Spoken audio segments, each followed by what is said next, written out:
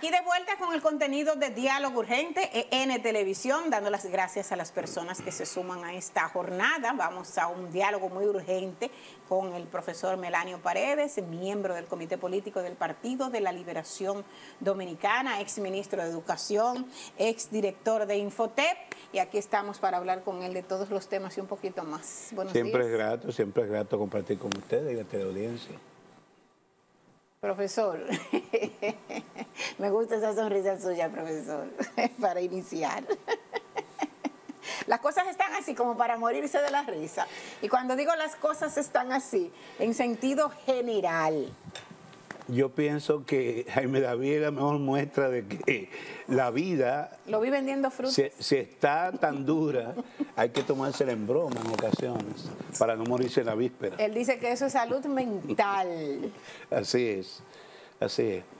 Bueno, eh, entramos ya al, al segundo ciclo del proceso de elecciones en República Dominicana.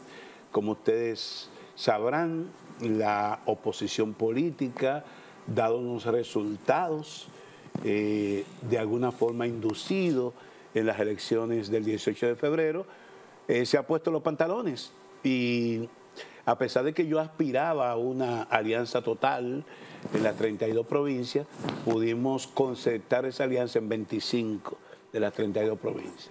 Es una muestra importante porque yo pienso que se pueden ganar la mayoría de esas 23 provincias eh, con la alianza total, tripartita, y en el caso del PLD, dos provincias adicionales eh, que vamos con el Partido Revolucionario Dominicano.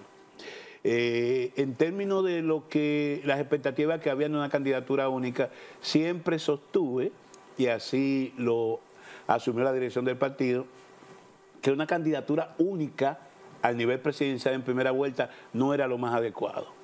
Por una razón sencilla, eh, hay, hay sumas que no son aritméticas, son algebraicas. Cuando usted reúne dos polos o dos sectores que de alguna manera han tenido diferencia en los últimos tiempos, esa suma no es lineal. O sea, hay personas que efectivamente responden a ese lineamiento y votarían por el candidato, candidato único. Pero hay sectarios de una de las fuerzas que no lo harían y entonces tú te restas esos votos.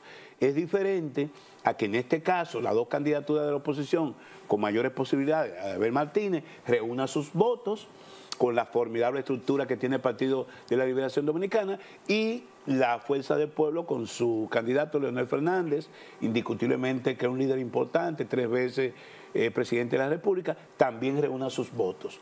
Yo lo que estimo es que si la Fuerza del Pueblo y el PLD tienen un desempeño diferente al de 18 de febrero, es decir, que sean capaces de motivar a su militancia, a su simpatía para ir a votar.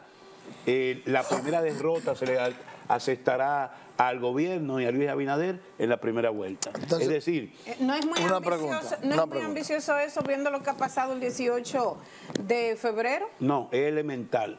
Luis Abinader sacó con todos los votos de la alianza 2.1 millón de votos, con una abstención de un 53, dice la Junta, en nuestro caso con una atención sobre el 60% en los centros de mayor votación, que son los que definen las elecciones.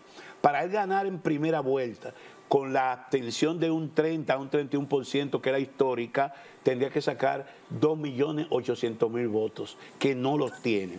Y la oposición, tener un desempeño de ambas fuerzas que puedan tener por encima de un 20%, más el PRD que proyecta que puede sacar entre el 3 y el 5%. Si eso ocurre, esa candidatura eleccionista será derrotada en primera vuelta. Y si es derrotada en primera vuelta, el desánimo que sufrirán las huestes oficialistas y la desesperación, por otro lado, le llevaría a perder las elecciones en segunda vuelta de nuestro candidato del PLD o eventualmente de que clasifique una en, esa, primera vuelta. ¿Y por qué yo tengo que pensar que en la segunda vuelta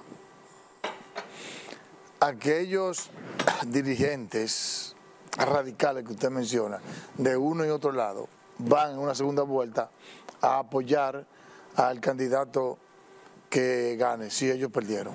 Porque tendrán tendrán necesariamente que tragarse sus odios, sus resentimientos y enfrentar una realidad muy dura para el país. Mira, el presidente en su alocución, esa euforia con que eh, rindió cuentas. ¿Rindió cuentas el presidente o el candidato?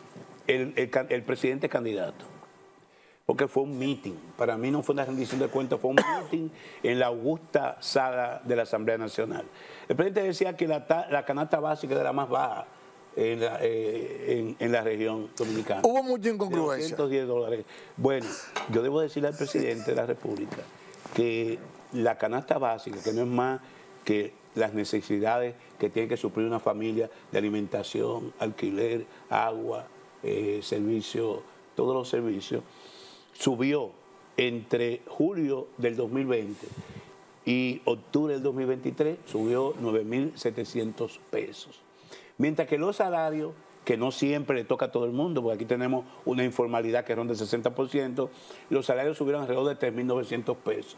La diferencia que tú la ves en el colmado, Aquí tenemos una dama que seguro que va al supermercado. Todos los, días, todos los días traigo los precios. Yo la siento. Entonces, la diferencia entre el poder adquisitivo en julio del 2020 a octubre del 2023 es de 5.700 pesos menos. Es decir, la capacidad de compra de la familia que se traduce en falta de alimentos, en hambre, descendió, ha sido el golpe más duro que ha recibido la población dominicana. Por eso, por eso, a pesar de que eh, la vocinglería mediática habla del barrido electoral del 18, no. Quienes le dieron aprobación a Luis Abinader y su gobierno fue apenas el 22% del universo de electores en República Dominicana. Y con esa votación, cuando suba, cada vez que suben cinco puntos eh, porcentuales, la oposición gana eh, eh, ventaja y el gobierno retrocede. Y es lo que se va a reflejar el 19 de mayo. O sea, cuando la votación pase de un 32, como fue en Santiago, a un 60, a un 70%, esos votos serán fundamentalmente opositores. Por una razón sencilla. Miren, clase media.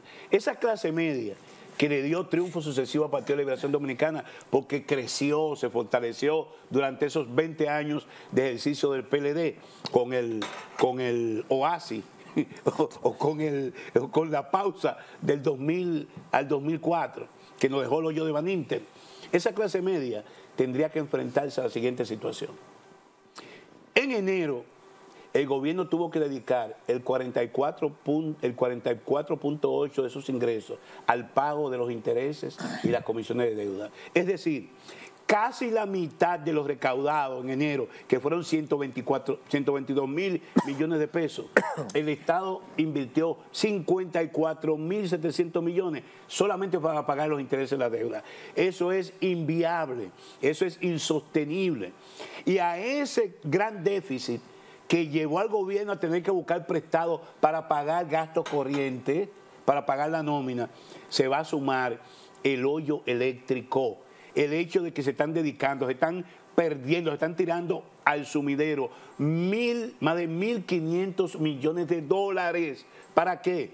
Para cubrir las deficiencias de las sedes. Y si tuvimos aumento de la tarifa hace como un año, en mi caso la duplicaron. Mi esposa fue... Qué dichoso, usted también me la triplicaron bueno, porque eh, depende de cuánto tú, si tú pagabas dos mil pesos, te lo triplicaban. en mi casa se pagaban alrededor de seis mil pesos y lo duplicaron. Cuando fuimos a reclamar a, Edesur, le dijeron que sí, lo pusieron en lista por investigación. ¿no? Ha ido subiendo la tarifa. Bueno, esa tarifa que le dio duro a la clase media dominicana, imagínense ustedes que pasado este gobierno, si lo reeligen, tengan que abocarse a una reforma fiscal por eso yo he hablado del hoyo fiscal, el segundo hoyo fiscal. Nos dejaron el hoyo de Van Inter, que hemos dedicado centenares de miles de millones de pesos para tapar el hoyo de Van Inter y todavía queda un hueco. El segundo hoyo que nos va a dejar un gobierno de la misma raigambre del de 2000 al 2004 es el hoyo del endeudamiento, y el tollo eléctrico. ¿Por qué? Sí, pero- Porque esos recursos para poder tapar esa friolera de millones que votamos en el negocio eléctrico y ese déficit creciente por el alto endeudamiento del país, hay que buscarlo de dónde? Sacarse de las costillas y los impuestos Entonces- a la clase media. Entonces la clase media tiene que hacer conciencia de eso y no quedarse sentado en su casa. Tienen que ir a votar para librarnos de esa, de esa, de lo que nos viene por ahí, de ese tsunami. Está económico. el hoyo eléctrico, el hoyo fiscal, y usted nos puso el hoyo electoral que está provocando ahora. Pero la pregunta es la siguiente. El presidente dijo, estamos mejor, pero además dio dos datos, que como para que uno piense que es así. Él dijo que la pobreza monetaria disminuyó de un 27 a un 23%, algo así. Y que además, en promedio, la economía ha crecido un 6.46%. Si eso es verdad, entonces es verdad que estamos mejor. Cuando el presidente quiere vender sueños, ¿qué es lo que hace? Se va a la guerra de Ucrania, se va lejos de la realidad dominicana. Y fue lo que ocurrió ahora. El presidente nos rindió cuenta del 2023, que el año que pesa, porque el año presente, o al menos la antesala al año presente, que es el 24. ¿Por qué el presidente habló de 6% de promedio de crecimiento en los 41 meses? Porque no podía hablar del mediocre crecimiento económico que tuvimos el año pasado, 2.4, uno de los más bajos de la región. Cuando República Dominicana, durante las gestiones del PLD, fue líder en crecimiento económico, compartiendo en muchas ocasiones con Panamá y que no me hablen de guerra de Ucrania, que no me sigan hablando del COVID-19, que eso hace mucho que pasó, eh, porque Costa Rica, Panamá, Bolivia y otros países también tienen ese efecto, ese efecto ex- externo en su economía y han crecido y han mantenido baja, baja inversión.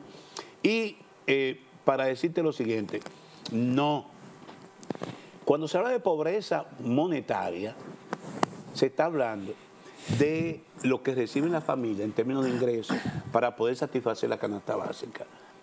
Esa no es la pobreza que impacta las condiciones de vida, la calidad de vida de los dominicanos y dominicanas. Cuando hablamos de pobreza, presidente Abinader, hay que hablar de acceso a agua potable a los hogares, hablar de los servicios de salud, de los servicios educativos, del servicio de transporte, de alimentación. Y en todos esos renglones no soy yo que va a darle respuesta al presidente Abinader, va a ser la población. Y nuestro candidato en los recorridos que ha comenzado va a pedirle a la población, a los productores, a las amas de casa, a los a las a los a los asociaciones de cooperativas, le va a preguntar si hoy en febrero del 24 estamos mejor que en enero del 20, antes de la pandemia, porque la pandemia fue, digamos, un punto de, De un punto de- de inflexión. Si están mejor o están peor. Y yo digo lo siguiente, la, remo- la mejor respuesta a ese discurso eufórico e histriónico del presidente Abinader se lo dio una hora después, se lo dieron los obispos en las iglesias. La euforia se apagó cuando entraron al Tedeum y había que ver la cara a nuestros mandatarios. Porque los obispos, que no son políticos partidarios, no son de la oposición, los obispos son voceros de lo que dice su población, lo que dice la feligresía, para elaborar su carta pastoral o las homilías que se dicen en los Tedeum del 27 de febrero, que es una tradición ya constitucional los obispos recogen el sentir de la población de las diferentes parroquias y la expresan a través de su sermón ese día. Y lo que dijeron nuestros obispos ese día es que tenemos corrupción generalizada en este país, que la delincuencia se ha incrementado y que el pasado 18 de febrero hubo compra de conciencia y que bajo ese estado de situación no se puede hablar, hablar de hombres y mujeres libres, que es lo que se celebraba justamente el 27 de febrero. Mire, breve ya, yo quiero volver un poquito atrás con el tema que usted dijo que hubiese querido usted que el acuerdo eh, abarcara las 32 provincias. Y una plaza tan importante como Santiago no se detuvo la oposición, no se detuvieron ustedes a pensar en que es mejor, digo, yo lo digo desde aquí como ciudadana, los políticos son ustedes y los estrategas, en pensar que ahí le están dando una gabela al oficialismo. Por ejemplo, Santiago, el 13, San Cristóbal. El 13 de enero yo posteé un tweet ahora eh, en la plataforma X o X y yo decía, el éxito de la alianza Rescate RD va a depender de la compactación de la fuerza, la confianza que se insufla a los actores que participan y de que se elaboren estrategias por cada una de las provincias. Porque era diferente Santo Domingo Norte, donde el PLD apoyaba a un candidato de la fuerza, que el Distrito Nacional, donde la fuerza apoyaba un candidato del PLD. Y teníamos que insuflar confianza y que cada uno de los actores se integrara como que era su propia causa. ¿Para qué? Para que pudiéramos ahora recoger a nivel de la senaduría esos resultados. Yo digo hoy, es lamentable que no haya habido acuerdo en plazas tan importantes como Santiago y San Cristóbal, que vamos separados. Yo espero que las 25 plazas donde vayamos ganemos la mayoría de esa senaduría y podamos derrotar el oficialismo en primera vuelta. Ahora, mi llamado a la oposición política y a mi partido es la siguiente. Tenemos necesariamente que tener un discurso coherente y confiable ante la población y un discurso frontal de oposición, de denuncia y de propuesta ante el gobierno y el partido oficial. Y garantizar que no se repita el 19 de mayo todas las tropelías que se cometieron en el 18 de febrero, para que no tengamos que llorar como mujer lo que no supimos defender como hombres. Calimán lo está despidiendo y esto es menos de 10 segundos que yo le voy a robar a Calimán para la respuesta suya. Ese odio que usted hizo referencia hace un ratito y que lo hemos escuchado tanto, entre los dos líderes, porque eso hay que decirlo, líder de Fuerza del Pueblo Leonel Fernández, líder PLD Danilo Medina, ¿cuándo se van a deponer las armas de rencor para unificarse? Yo he podido percibir que del PLD estamos haciendo todo porque se reúnan los líderes, hagan una rueda de prensa, le levanten la mano a nuestros candidatos comunes en todas las provincias que vamos aliados y que guardemos los rencores y los resentimientos y los egos. El país está por encima de Danilo Medina, por encima de Leonel Fernández, por encima de Melanio Paredes y por encima de cualquier interés personal o particular. Y eso yo espero que quede demostrado cuando podamos derrotar la reelección en primera vuelta y tengamos que entender que hay que ganar una segunda vuelta con el candidato que clasifique en primera vuelta. Gracias, profesor. A ustedes. Gracias al profesor Melanio Paredes, miembro del Comité Político del Partido de la Liberación Dominicana, PLD. A ustedes las gracias también por habernos dedicado, como de costumbre, su tiempo. Mañana el compromiso de siempre. Diálogo Urgente, EN Televisión. Feliz resto